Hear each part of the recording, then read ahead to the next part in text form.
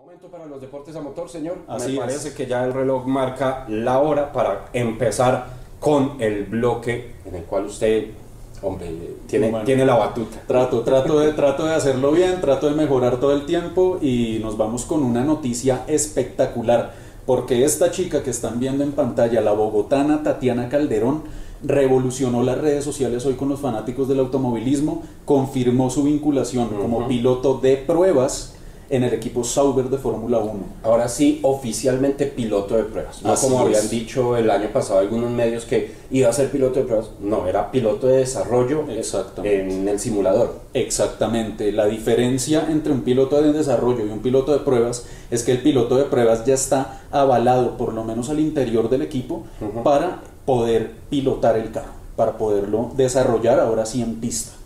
¿Qué le falta a Tatiana? Tendrá que desarrollar eh, sus trámites para adquirir la superlicencia, que es el requisito de la Sí. Fórmula 1. Esto lo va a conseguir con la- su experiencia en el campeonato de GP3 Series. Ojalá logrando victorias o logrando podiums, actuaciones destacadas este año, pero yo creo que el camino es prometedor para ella. Ya están confirmados los dos pilotos de, de Alfa Romeo Sauber. Sí, señor, ya están confirmados. Se trata de Marcus Ericsson, sueco, muy experimentado ya en la categoría, Sí. y de Charles Leclerc, piloto de la gama de Ferrari, de la escuela de Ferrari francés, Apellidos muy rápido. Muy rápido, Sí. Charles Leclerc. Para mí es uno de los grandes referentes en la Fórmula 1 del futuro. Bueno, y el tercer piloto de, de Sauber sería quién?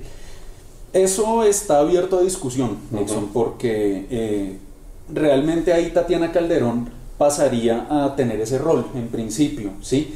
Obviamente hoy en día un piloto de pruebas no tiene la misma trascendencia que lo tuvo, por ejemplo, Juan Pablo Montoya cuando estuvo en Williams en el año 97, cuando fue piloto de pruebas. Sí, señor. Que compartía también rol en una categoría inferior, en ese caso la Fórmula 3000, pero eh, tenían derecho, mm, eran mucho más seguidas las pruebas, los desarrollos, el uso en pista del auto. Hoy en día Tatiana va a tener muchas limitaciones por temas presupuestales de la Fórmula 1, pero yo creo que se le abre una muy buena posibilidad para que lo pueda hacer. Sin lugar a dudas, entonces, abierta la puerta para Tatiana Calderón de llegar a, a verla en un gran premio. Por lo menos va a estar probando el carro, lo va a estar sacando del garaje, poniéndolo en pista, dándole unas vueltas de calentamiento y entregándoselo a Leclerc y a ellos. Así es, la idea es esa y ojalá lo logre porque tiene todo. El talento lo ha mostrado cuando tiene un vehículo capaz. Y sí, mucha gente decía, bueno, pero es que desde que llegó la escudería Telmex a apoyarla se le abrieron las puertas. Sí, esa es la realidad porque usted en Fórmula 1 necesita plata. La realidad hoy en día es que para llegar a un asiento en Fórmula 1 necesita plata, salvo cuatro o cinco pilotos que cobran sueldo por ser pilotos de Fórmula 1, los demás pagan para estar ahí. Entonces uno no puede ser eh, reacio ni puede negar esa realidad. Sí, señor. Bueno, cambiemos de el asfalto a, A la tierra. A la Nos tierra. Vamos a la tierra. Sí. Nos vamos a la tierra A porque la tierra, manito. a la tierra y a la tierra muy cercana acá a Bogotá, porque ya lo están viendo en pantalla, se abrió la temporada 2018 del Campeonato Nacional de Rallycross. Esto se disputó en el circuito Laguna Seca, esto queda ubicado en Chía, muy cerquita a la, a la salida norte de Bogotá, con un circuito que lo calificaron los pilotos como rápido, muy técnico, algo que le dio grandes cambios a, este, a esta categoría. Estas son imágenes de archivo, cortesía de la organización del campeonato de ProDrive RX, pero ese circuito corto y rápido llevó a que hubiese muy pocos abandonos y las batallas fueran muy cerradas entre todos los competidores. Hubo participación en tres categorías, autos de 1600 centímetros cúbicos, autos de 2000 centímetros cúbicos y camperos, donde compartieron pista algunas, algunos camperos, valga la redundancia, con unos buggies, que es una categoría nueva que quiere imponer este campeonato Qué bueno. que son autos ya muy, muy de ese entorno, Frodo. Sí, señor. Así que la batalla pues fue más que interesante. El clima cambiante de este fin de semana en Bogotá eh, ayudó mucho a eso. Y entre los ganadores se destaca Camilo Orduz, que ganó en la categoría de 1600. Campeón defensor de los 1600. Exactamente, a eso iba Nixon. Me, me- me- robó la palabra con eso. Es un dato muy importante porque es un campeón. Ujú. Jaime Astorquiza, el pastuso Jaime Astorquiza ganó en la categoría de 2000 centímetros cúbicos, que siempre está ahí en la pelea, siempre está arriba. Le Y- ganó al Cardiolejo Team. Sí, señor, le ganó a Alejandro Orjuela, el campeón defensor, y que tiene uno de los mejores autos, un Subaru Impresa espectacular.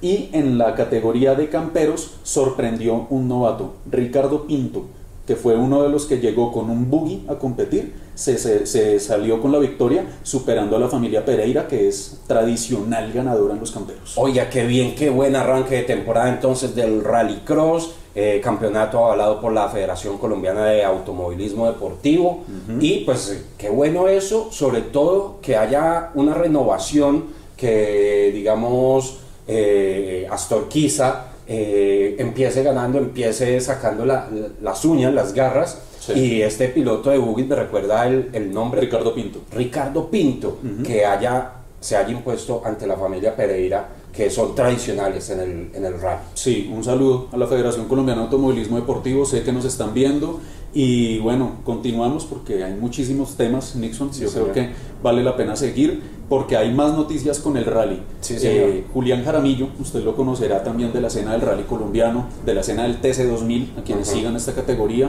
Este piloto manizalita va a competir este fin de semana, ahí vemos algunas imágenes de archivo de él, va a competir este fin de semana en el Campeonato Mundial de Rally, en el Rally de México. Ahí estaba volando. Es, es probable, sí. Será el vuelo es de... probable que sí. Eh, sí, Julián en, se le va a medir uh -huh. otra vez al reto de correr en Guanajuato, en, en, en el estado, eh, en Guanajuato, sí, en uh -huh. México. Va a ser, eh, eh, va a estar a bordo de un auto Subaru impresa WRX de la categoría eh, Rally 2 Sí. Esta es la segunda categoría en potencia del campeonato mundial y su copiloto va a ser un mexicano, José Marín, con quienes pues ya han armado toda una estrategia, todo un desarrollo, tienen desarrollo técnico argentino que es de muchísima experiencia en el sí, rally sí, claro. y van a estar compitiendo a partir de mañana que empieza ya el reconocimiento de la pista. En, en otras palabras, eso de la categoría Rally 2 uh -huh. eh, no va a estar contra los duros. Sí, no contra los sino contra los pilotos que quieren llegar a ser duros o que en algún momento lo fueron. Exactamente. La, la situación acá es que el recorrido es igual, el tramo es igual, uh -huh. las exigencias son las mismas.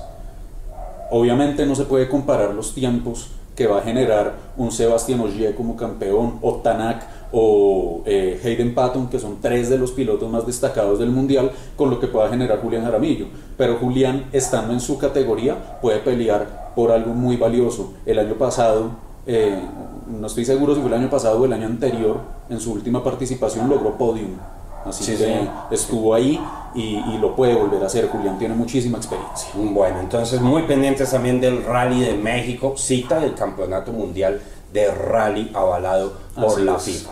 Así y de es. las cuatro ruedas nos vamos a las dos ruedas para cerrar este bloque a motor porque hubo actividad del motocross este fin de semana. Sí, señor, hubo actividad del motocross, vemos imágenes en pantalla, cortesía de la Federación de Motociclismo, Carmen de Viboral, un municipio en Antioquia. Sí, señor. Muy caluroso, eh, eh, es bastante húmedo ese municipio de Carmen de Viboral. Yo no sé qué es más caliente, si Carmen de Viboral o La Dorada.